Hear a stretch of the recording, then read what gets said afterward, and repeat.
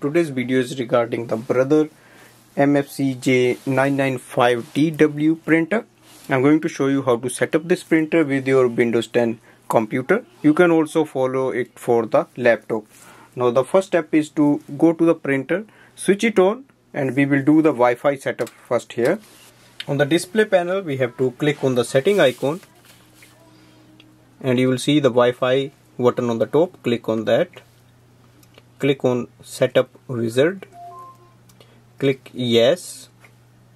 So it will search for the available wireless networks. Select a network you want to connect. Click ok. Enter the password using this touch screen display. Click ok once you enter the password.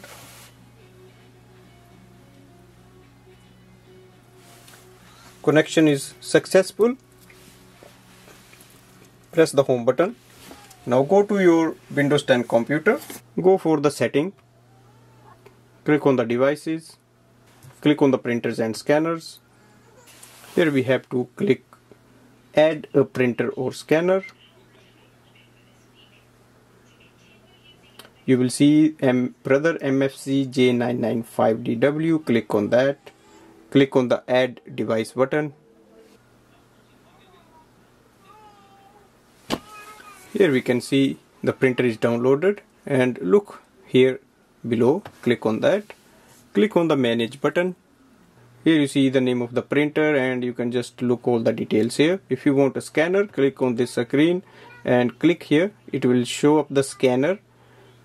Overall I can say it's very easy to connect this printer with the Windows 10 laptop or computer using your home or office Wi-Fi network. Thanks for watching